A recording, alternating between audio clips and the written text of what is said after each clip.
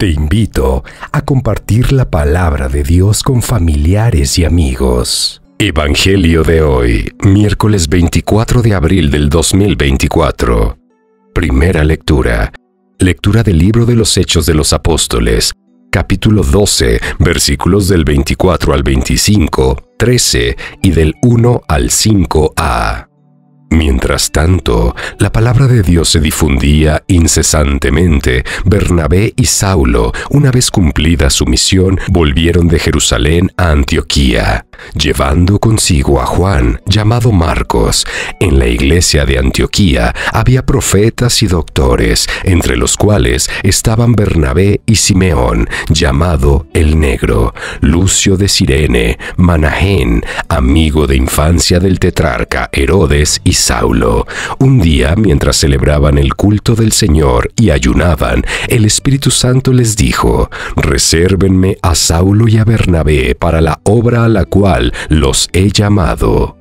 Ellos, después de haber ayunado y orado, les impusieron las manos y los despidieron. Saulo y Bernabé, enviados por el Espíritu Santo, fueron a Seleucia y de allí se embarcaron para Chipre. Al llegar a Salamina, anunciaron la palabra de Dios en las sinagogas de los judíos y Juan colaboraba con ellos. Palabra de Dios, te alabamos, Señor. Salmo de hoy. Salmo 66.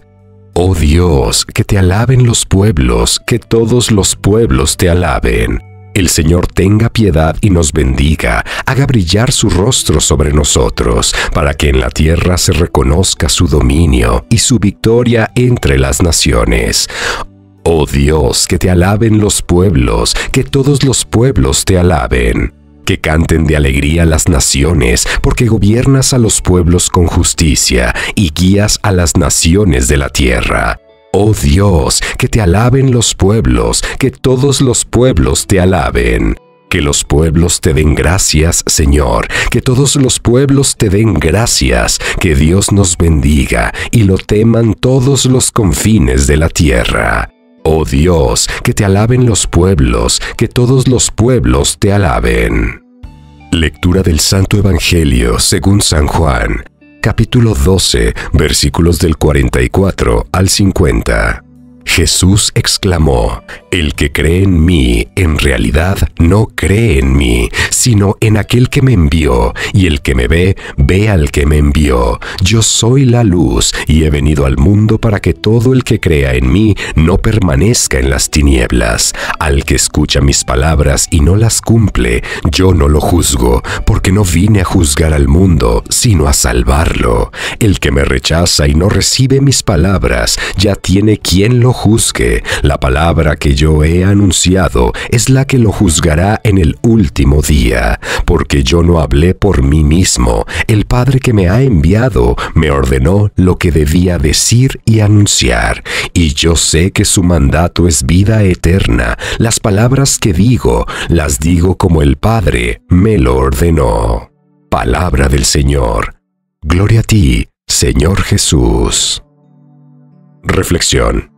En el Evangelio de hoy, este fragmento del Evangelio de Juan destaca la estrecha relación entre Jesús y el Padre. Jesús actuaba conforme a las instrucciones del Padre. Por eso afirma, el que cree en mí, en realidad no cree en mí, sino en aquel que me envió. Y el que me ve, ve al que me envió. Luego especifica su propósito. Yo soy la luz y he venido al mundo para que todo el que crea en mí no permanezca en las tinieblas. La misión de Jesús es llevar la luz y la misión de los apóstoles es transmitir la luz de Jesús, iluminar, pues el mundo estaba sumido en tinieblas. Sin embargo, el dilema de la luz de Jesús es que fue rechazada. Juan lo explica claramente al inicio del Evangelio.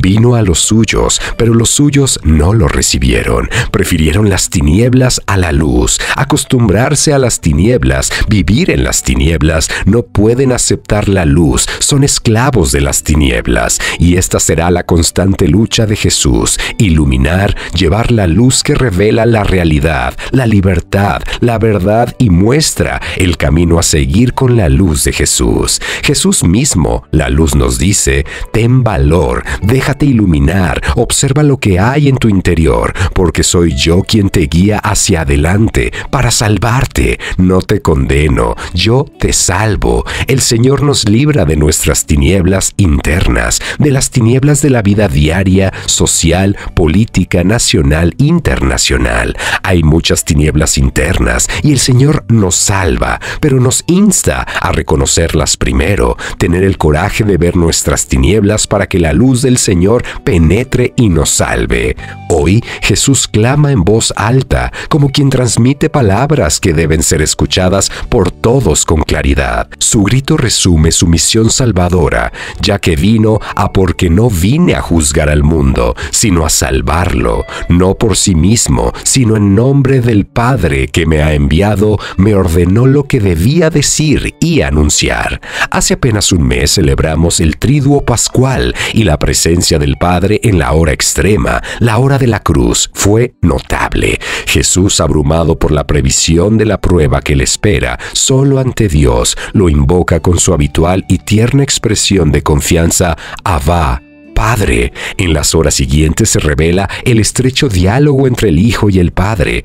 Padre, perdónalos porque no saben lo que hacen. Padre, en tus manos encomiendo mi espíritu. La importancia de la obra del Padre y de su enviado merece una respuesta personal de aquellos que escuchan. Esta respuesta es la fe, es decir, creer. Fe que, a través de Jesús mismo, nos brinda la luz para no permanecer en la oscuridad. Por otro lado, aquel que rechaza todos estos dones y manifestaciones y no guarda esas palabras tiene un juez la palabra. Aceptar a Jesús implica creer, ver, escuchar al Padre. Significa no estar en la oscuridad y obedecer el mandato de la vida eterna. El Padre nos lo dijo todo de una vez a través de esta única palabra. Por lo tanto, el que ahora quisiera preguntar a Dios o desear alguna visión o revelación no solo sería una necedad, sino que ofendería a Dios al apartar la mirada de Cristo y al buscar algo nuevo o distinto. Amplía tu corazón y busca la luz eterna que ilumina a todos los seres humanos. Esta luz brilla para todos, pero aquel que cierra sus ventanas se priva a sí mismo de esa luz para siempre. Necesitamos esa luz divina para responder adecuadamente a la vocación que hemos recibido.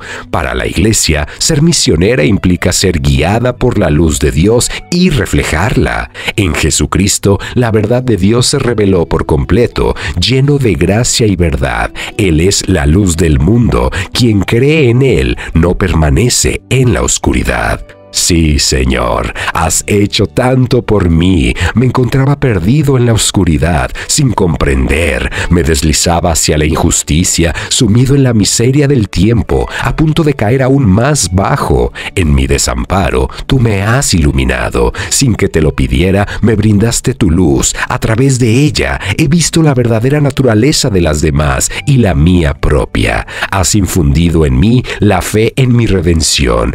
Tú, que sacrificaste sacrificaste tu vida por mí. Reconozco, oh Cristo, que debo mi existencia por entero a tu amor. Déjanos saber tus comentarios. Dios te bendiga. Amén. Gracias por escuchar el Evangelio de hoy. Dale me gusta y comparte con familiares y amigos. Y te invitamos a seguir a Morena Visión en todas nuestras redes sociales.